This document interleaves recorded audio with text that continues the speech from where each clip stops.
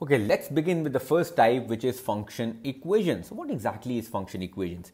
A function equation problem will give you a function in equation form and then ask you to use one or more inputs to find the output. In order to find a particular output, we must plug in our given input for x into our equation. And the function can be any function. It can be a linear function, quadratic function, exponential function, any function. Like in this example, we have a quadratic function.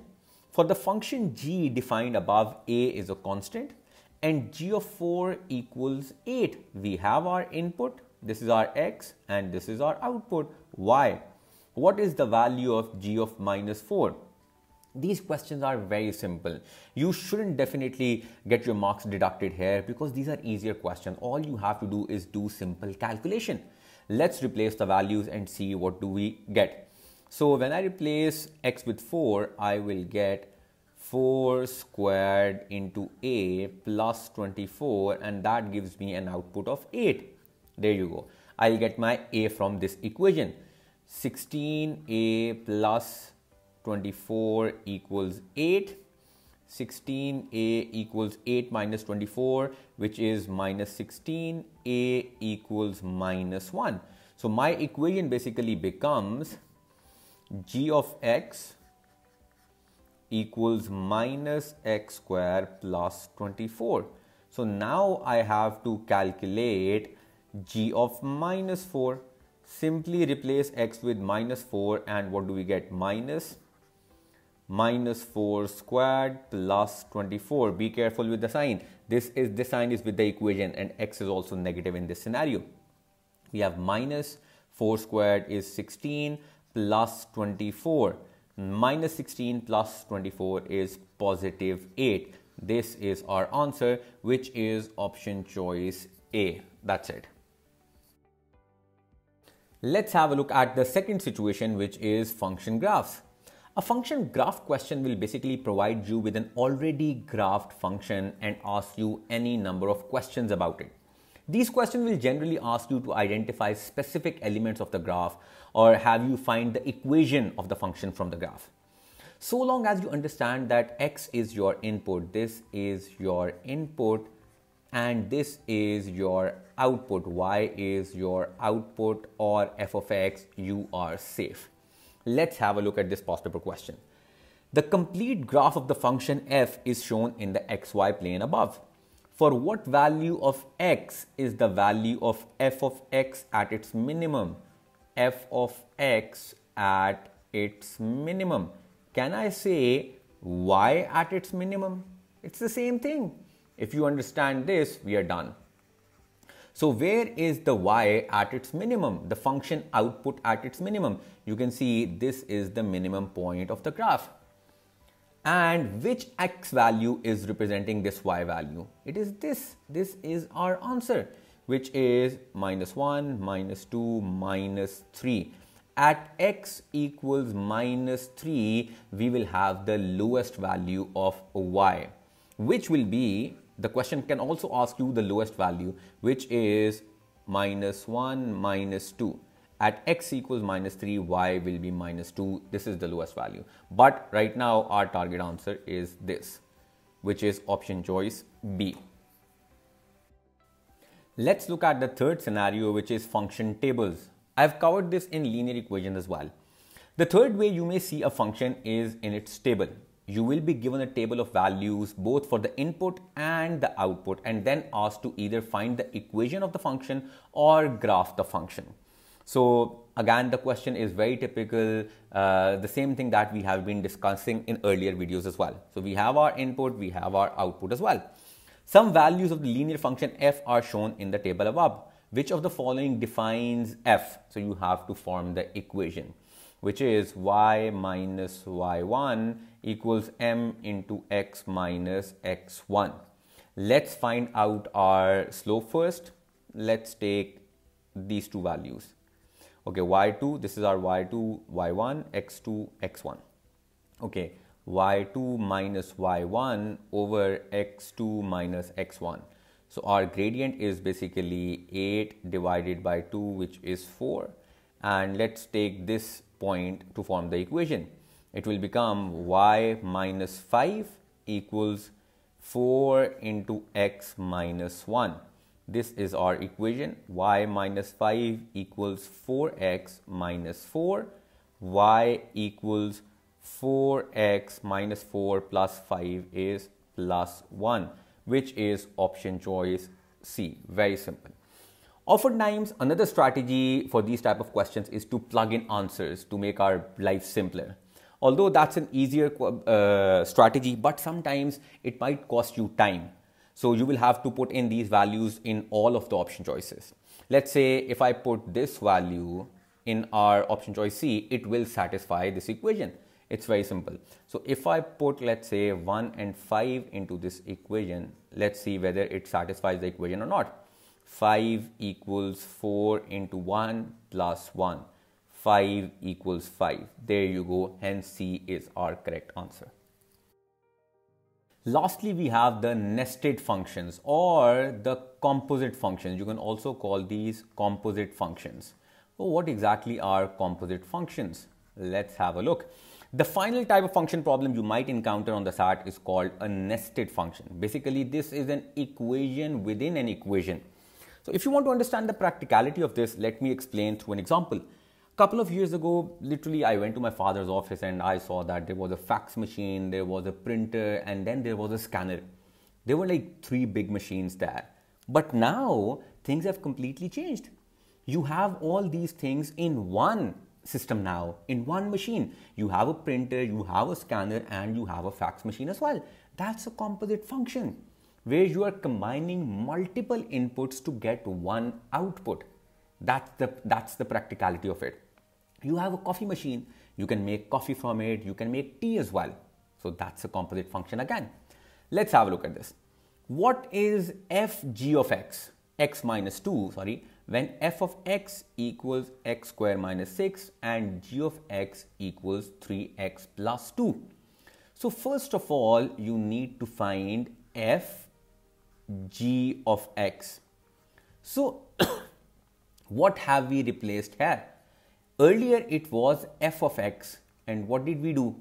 In place of x, we have replaced g of x. That's it, very simple. So in place of x, you will replace g of x. So f g of x will look something like this. Now instead of x square, we will have this part. We'll have g of x 3x plus 4 whole squared minus 6. This is f g of x. We have put this function into f of x. So let's open this up this is quadratic it will become 9x squared plus 2ab which is 2 into 3x which is 6x 6x into 4 is 24x plus 4 squared is 16 minus 6 so this will become 9x squared plus 24x plus 10 so this is basically f g of x but we are not done yet our final answer is f g of x minus 2. So now in place of x, we will replace x minus 2 and see what do we get. 9. Now what do we do? In place of x, we have x minus 2. X minus 2 whole squared plus 24 x minus 2 plus 10. This will give us our final answer.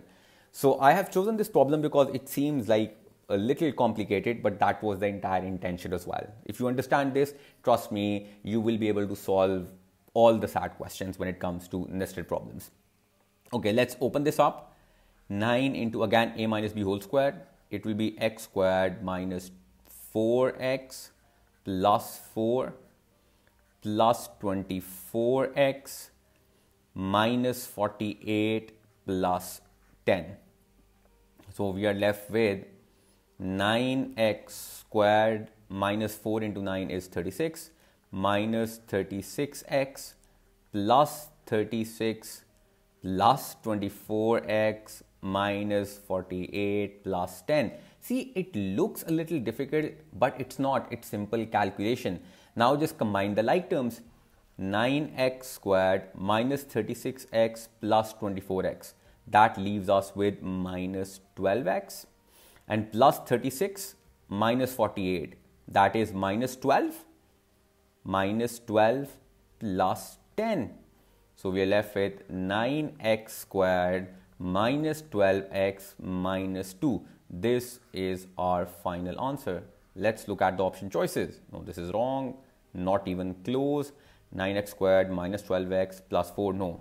Our answer is 9x squared minus 12x minus 2, which is option choice D. Now let's have a look at a couple of more questions involving all these scenarios. A function f satisfies f2 equals 3 and f3 equals 5. A function g satisfies g3 equals 2 and g of 5 equals 6. What is the value of f g of 3? It's a composite function and we are not given either f of x or g of x. So you should understand that you need to find both the functions, but we are given points. Our one point is 2 comma 3, this point, our second point is 3 comma 5. And for g of x, again we have two points, 3 comma 2 and 5 comma 6. That's it. So if you have two points, you can easily form a linear equation. We have already studied this. So what exactly is f of x? We need to do some math here. For that, we need to find the slope first, which is y2 minus y1 over x2 minus x1. This turns out to be 2 divided by 1 is 2. Now let's just plug in the values into this equation. y minus y1 equals m into x minus x1. Let's take this uh, coordinate. y minus 3 equals 2 into x minus 2. This is our f of x. y equals 2x minus 4 plus 3 which is basically f of x. I'll write it here so that I don't get confused. 2x minus 1 is our f of x. Similarly, we need to find g of x. Okay, for g of x, our slope is y2 minus y1 over x2 minus x1 which is 4 divided by 2 equals 2. Let's apply this equation again. I will take this point y minus 2 equals m into x minus x1 which is 3. So our equation becomes y equals 2x minus 6 plus 2 which is basically g of x equals 2x minus 4. This is our g of x. So now we need to find f g of 3. Let's first calculate g of 3 which is 2 into 3 minus 4. You simply replace x with 3 or whatever is given. That's the trick. And g of 3 is 6 minus 4 that is 2. Now we need to find, I'll draw a line here so that we don't get confused. F g of 3 so that is basically f of this value. We already have g of 3 so we need to calculate f of 2 so let's replace this x with 2 and we will get 2 into 2 minus 1 which is 4 minus 1 equals 3 a very interesting question. And therefore our answer is this beta Let's have a look at this function graph question. Which of the following could be the equation of the graph above? Let's just evaluate this graph. So it is above the x-axis. It is going upwards. Remember the rules of graphs? It is f of x plus z. Whenever you add a constant into the function, it moves the graph z units upwards. And it's a quadratic function. What's a quadratic function? It can be x squared plus a constant. Now we need to look at the option choices. x square plus 2, yes, A can definitely be our answer. x plus 2 whole square, you are adding a constant into the value of x. This should move the graph 2 units to the left. And in option choice C, we have f of x minus z. this should bring the graph downwards and this should move the graph two units to the right. Yes, A is our answer. We have an interesting past paper question here. Let's have a look at this. Question 17 and 18 refer to the following information. We will do question 17 first. The quantity of a product supplied and the quantity of the product demanded in economic market are functions of the price of the product. The functions above are the estimated supply and demand functions for a certain product. The function S of P gives the quantity of the product supplied to the market when the price is P dollars and the function D of P gives the quantity of the product demanded by the market when the price is P dollars. How long, sorry, how will the quantity of the product supplied to the market, product supplied to the market change if the price of the product is increased by $10? You can pause the video and read the question again if you want. So basically the quantity of the product supplied to the market is given by this function S of P equals half P plus 40. This is the function we are looking at. If the price P of the product increases by dollar $10, the effect on the quantity of the product supplied can be determined by substituting P plus 10 into the equation. So earlier are basically, let's have a look at this. Let's say this is our function. So f of x means that we are replacing x into the function. Now we have x plus 10. So we need to replace p with p plus 10 because the price increases by 10. That's something you need to understand. So our new function basically becomes, you can say s of p I'm just writing n because this is our new function with the new price. Half into p plus 10 plus 40. Let's simplify this. We will get half p plus 5 plus 40 which is half p plus 45. This is our new function which basically shows that what is happening now s p plus 10 equals s of p, our original function, plus 5. So basically, the quantity supplied to the market will increase by 5 units when the price of the product is increased by $10. Very interesting question. Alternatively, look at the coefficient of p in the linear function s. This is basically the gradient of the linear equation. Let's say this is the slope of the graph of the function where p is on, on the horizontal axis and s of p, this is on the y-axis. So if you understand, since the slope is half, what is happening? For every increase of 1 in p, remember we talked about the relationship, we talked about the gradient. For every increase of 1 in p, what is happening to s of p? It is increasing by half. So if P increases by 10, what is happening to the output? It will increase by 5. That's another way to look at it. Let's look at question 18 and sorry I forgot to mark the answer for question 17 which is option choice B. The quantity supplied will increase by 5 units. Okay, question 18. At what price will the quantity of the product supplied to the market equal the quantity of the product demanded by the market? This is simple. Literally, you have to translate this. So, S of P equals D of P. This is what the question is asking. You have to equate both the equation and find out the value of P. So, we will get half P plus 40 equals 220 minus P. You just have to solve this. Just combine the like terms, half P plus P equals 220 minus 40. You take the LCM, you will get 3 over 2P equals 180. Simply again, do not multiply. P equals 180 into 2 divided by 3. Now 180 divided by 3 is, I know this is 60. 60 into 2 is 120 $120 is our answer which is option choice B